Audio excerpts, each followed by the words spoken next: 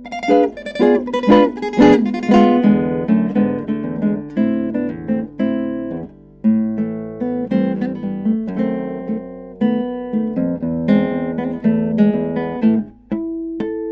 guys, welcome to my channel.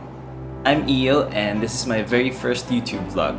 In this video, I am gonna talk about what it's like to actually be a guitar major in UST.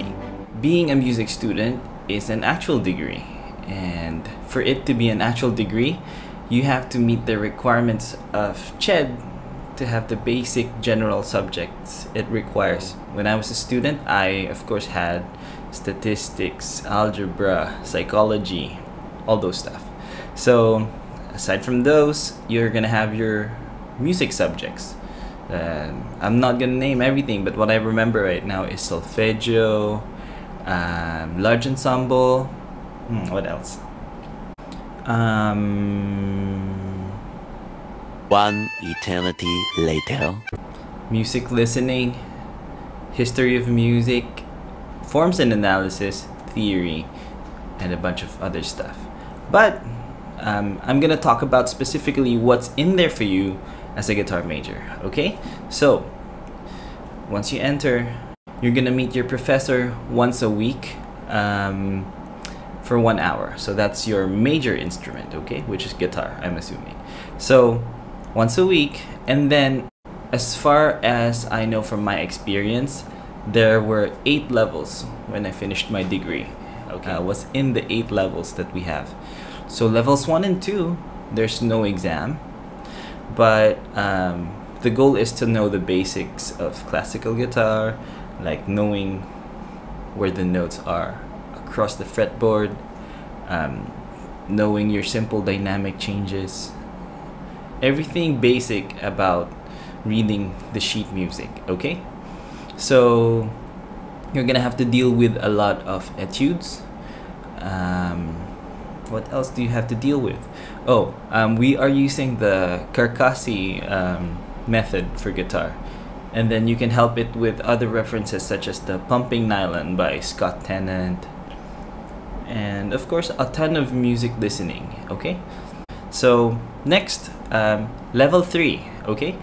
I'm giving this a special moment because this is the first time you're get, ever gonna have an exam with a set of jury in front of you. So the setup will be you will be in, in the exam room with around three to four guitar professors, and you will play everything that you prepared maybe for a year or two. Um, in my time, it consists of I think um, 10 etudes or 11 and then I had to pick between Lagrima and Adelita, both by Francisco Tarrega. Okay, um, it has a simple form, and also the level is challenging. You start to do a little rubato and whatever. So um, that's level three. Just so you have a glimpse of um, what the main piece are uh, is. Um, this is a part of Lagrima. Okay, so.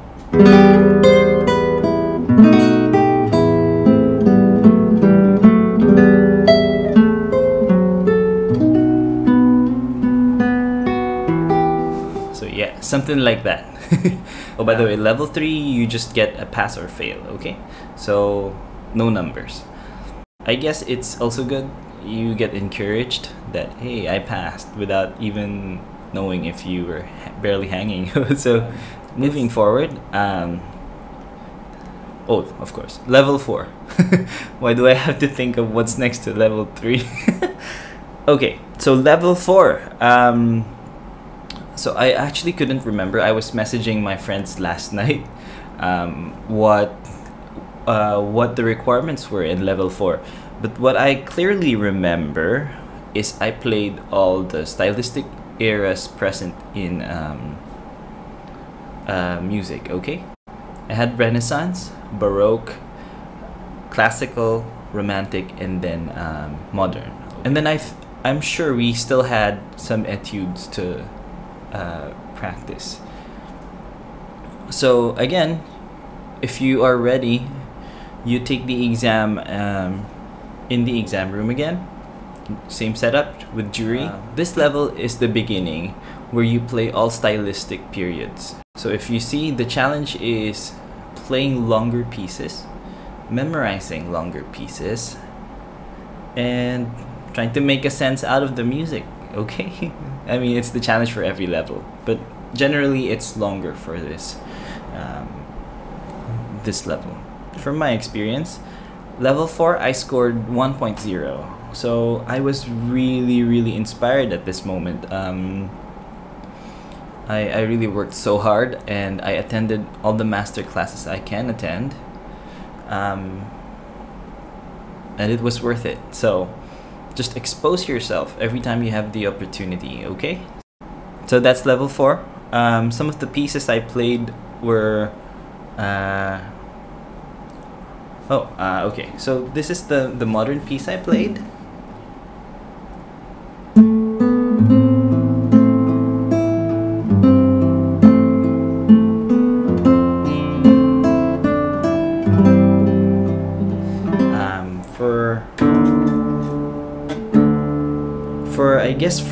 Romantic, I played Canto del Ladre. Not sure if I'm pronouncing that right. So um, somehow like this.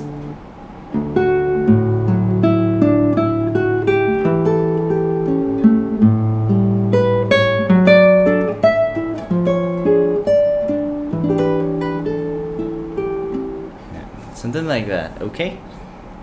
Um, I also played Rondo by Sor, but I don't. I honestly don't remember how to play it anymore. it was like um, seven years ago. That's a glimpse of level four.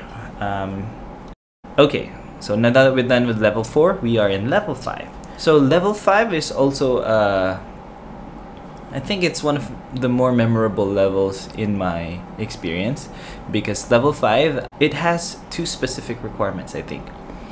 I had to play a tremolo study and a speed study. So those two uh, made it more challenging. Um, and then, um, if I remember it right, the only piece I remember I played in the stylistic periods is um, Sonata by Giuliani. Okay? So I'll, I'll try to show you a little bit.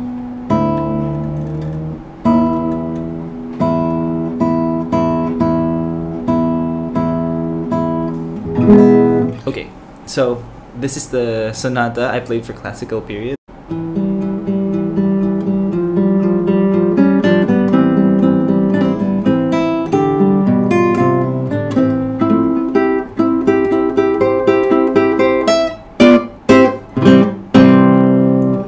Okay, that's a bit of the Giuliani Sonata, and then what else I remember? Um, oh, uh, there will be a special etude also. I think you are required to take B minor etude and the D major etude by Sor. Okay, so B minor is.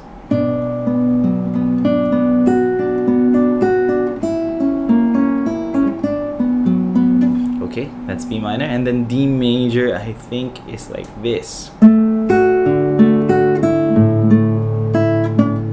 I don't remember, but it's it's something like that. Oh, and then um, for my tremolo study, this is the level where you learn um, the technique where you use P A M I. Pa, pa, pa, pa, pa, pa, pa, pa.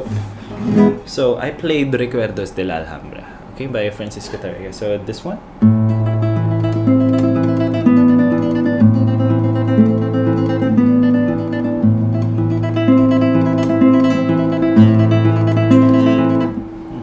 a little of that. okay, so you still have speed study, which of course I can't play right now. It's so early in the morning and I haven't played my speed study in ages, but I played El Colibri by Julio Sagreras. Now we move to the next level, okay? Provided you pass, that's good. Congrats. Level 6. So, level 6, um, I think. Okay, if I remember it right, I took it in summer so in level 6, uh, you still have your five stylistic periods, of course. I played Fantasia by Dowland, number 7 to be exact. I also played the 998 Fugue in D major. I loved it, and it was so difficult also. Um, and also, you have to play for classical specifically. You can't play any long piece. You have to play um, a piece written in variations form. Okay, so what I played was um, the Mozart Variations by Sor. Uh, it goes like this.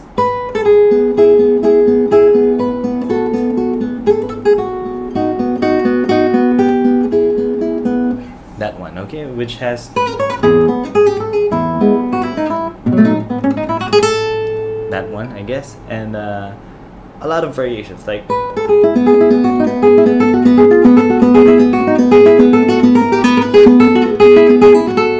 Something like that, also. Okay, so those are the Mozart variations. Um, and then for for romantic, I played Julia Florida by Agustin Barrios. And then for my um, modern piece, I played Usher Waltz by Nikita Koshkin. Okay, Usher Waltz is Usher Waltz is um, the one with this. Wait, it's this one.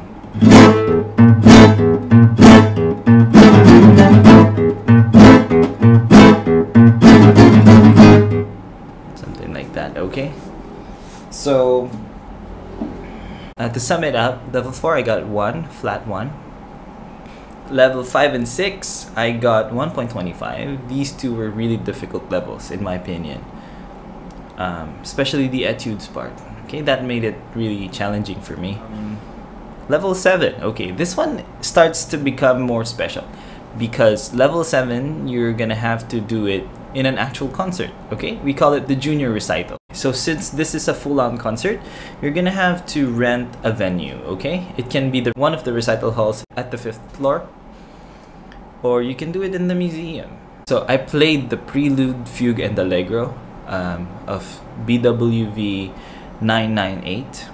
Okay, this it's all in D major. And then I played Grand Solo by Fernando Sor. This is uh, written in Sonata Allegro form. Um, and then I played Hungarian Fantasy by Johann Kaspar Mertz. Lovely piece. And then, um, how do you call this? Oh, the next one you have to play a modern piece. I chose a Filipino piece. It's also in variations form. It was arranged. It is arranged by Maestro Jose Valdez. It's Sarung Banggi. Okay, the variations. And um, I played. Oh, in the end, you're gonna have to play one of the fast movements of a concerto of your choice. Okay, so for me, I chose the Concerto de Aranjuez. So I did the first movement. Um, maybe you guys are familiar. The the first movement is uh, with.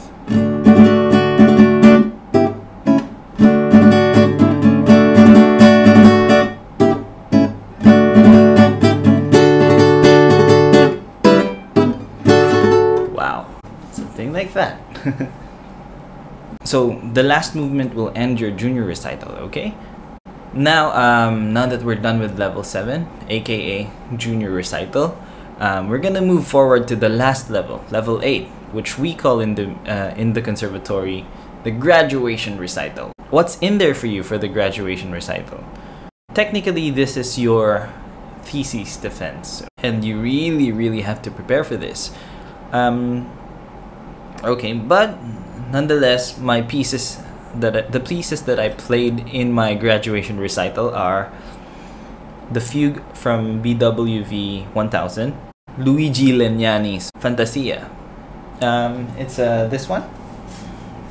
Uh, um, that one, okay? So, next I played Reverie by uh, Giulio Regondi. And then um, followed by uh, Tres Piezas Españolas by Joaquin Rodrigo. He's my like most favorite guitar composer. Okay, he's blind. He's he wrote using the piano for guitar. It's just crazy, crazy difficult. Um, and then lastly, the highlight. Okay, although all the pieces can be your highlight, because I mean this is my favorite recital among all. I can play a very nice program according to my liking but it has to be approved by my professor too. But I loved it. So, um, in the end, remember you played one fast movement of concerto for your junior recital, right? So for this one, you're gonna have to play. You have to play completely the concerto that you chose. So first, second, third movement of Aranjuez I did, okay?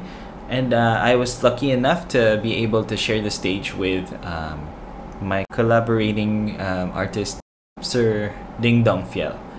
Search him up, he's a, an excellent pianist. Okay, so I didn't have an orchestra, but I it seemed like I have an orchestra with me. so, um, how did I structure my graduation recital? I opened with the fugue, followed by the fantasy, and then I have an intermission, okay? Because it's just tiring. Um, after the break, I played Reverie and closed the second section with Tres Piezas. So, and then another intermission to prepare myself for Concierto de Aranjuez. So, this marks the end of your bachelor's degree. So, that's a brief um, walkthrough on the eight levels in learning classical guitar in my conservatory. There are more challenges, of course, academics related, but as far as guitar playing is concerned, this is what you're gonna have to expect. So thank you guys for staying with me in this entire walkthrough with regards to how it is like to be a guitar major in UST. So I hope you enjoyed it and if you did, please give it a like and subscribe to my channel. I'll be posting more classical guitar content in this channel, so please stay tuned, okay? I'll see you on the next one. Bye!